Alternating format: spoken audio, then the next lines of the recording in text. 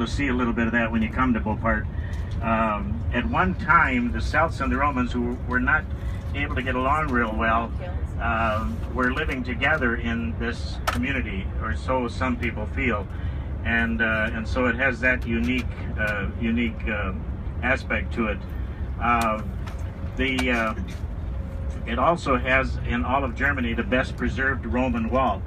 I don't know, Peter, if we're going to be driving by the Roman wall. Uh, the Limes? No, don't think so. Oh shucks. All right. I think we'll see part of it. Uh, yeah, sometimes. But All right.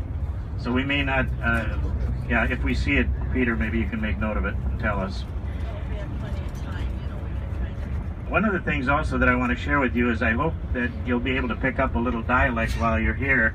And so, uh, some of you I know understand the words, and some of you maybe haven't heard them for a long time. Some of you maybe never knew them.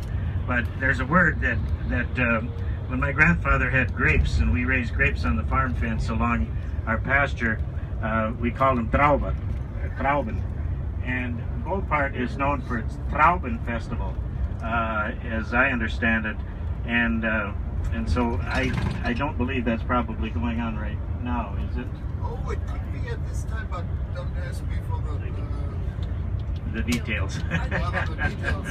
So normally uh, now it, it's time for put the, Yeah, the, they're the, the grapes. Oh, the grapes, but uh, don't ask me if it's the festival. Okay. But yeah, we're, yeah, we're gonna Google it. you Google everything nowadays. the other thing you should know about how many people here know Engelbert Humperdinck? Anybody ever heard of Engelbert Humperdinck? Engelbert Humperdinck owns a home in Boppard. I don't believe we're going to be driving by it. I'm not sure.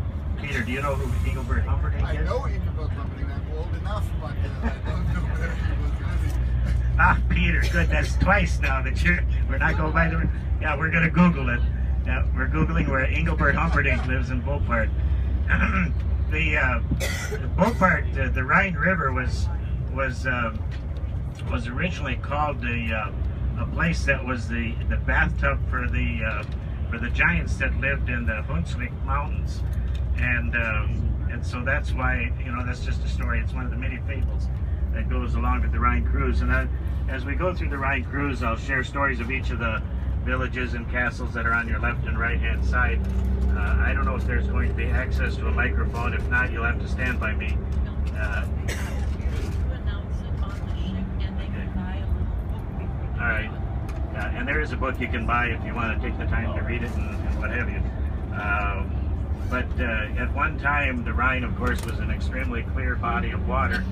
Uh, last time I was on the Rhine, and, and the only other time I was on the Rhine, it was not a clear body of water. So, uh, but it, they claimed that you could see mermaids. So, those of you guys that are interested in seeing a mermaid, you know, look closely into the water and see if you can't spot.